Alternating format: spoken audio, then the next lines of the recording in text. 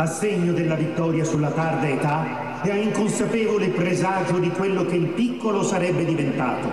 Nicolò, domani sarà annunciato il tuo fidanzamento ufficiale e sarà fissata la data delle nozze.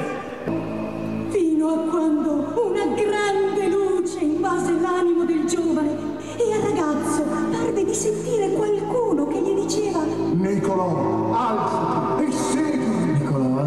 seguimi. E indicherò una strada. Indicherò una strada. Quella sarà la tua salvezza.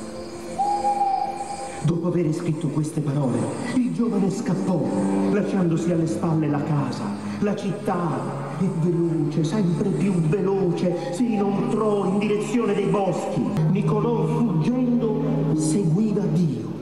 E adesso sfinito, sperduto, circondato da un deserto di lava, si fermava a guardare lontano la sua città, Adernò, la casa tanto amata, i genitori, gli amici. Le lacrime annebbiavano la vista, la stanchezza era sempre più grande come il ricordo di ciò. Tutto ti darò se a me giurerai obbedienza. Approfitti della mia debolezza. Perché mi tenti? Satana, Satana, Satana!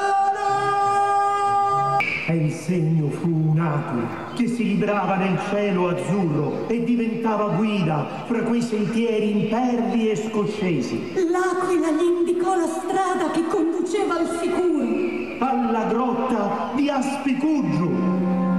Quello fu il primo rifugio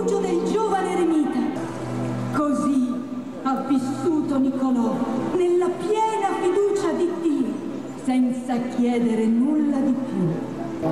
Il 17 agosto 1167 le campane suonarono a festa. Il popolo corse in piazza per sapere cosa stesse succedendo. L'entusiasmo divenne sorpresa di fronte alle parole del parroco. Nemmeno io so cosa sta succedendo, ma giuro e giuro ancora che le campane suonano senza che ci sia nessuno a toccarle. Un uomo provò ad alzare una torcia per vedere meglio ed ecco, per terra, vide accanto all'uomo un bastone crociato e un libro di preghiere.